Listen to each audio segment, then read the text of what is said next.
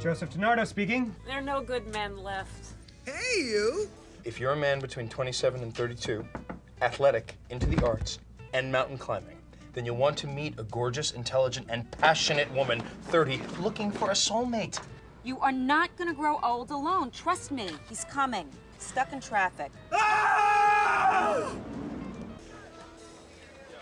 What kind of a mother tells her daughter to go to a bar? Joey, I'd watch her if I were you. Joey. I don't need to be in a relationship. I got a pound of South American clay on my face. If this doesn't kill the zits, I'm declaring war. Are we in love yet? Think it over. Are we in love yet? You are gorgeous. Stop. R- really? I mean it. I am the luckiest guy here. Break up with him. Yes! The least you could do is show me some respect. Whoa, whoa, whoa! Someone who thinks like you. Someone you could be totally honest with. He is so cute! Someone's in love. No. You're in for a great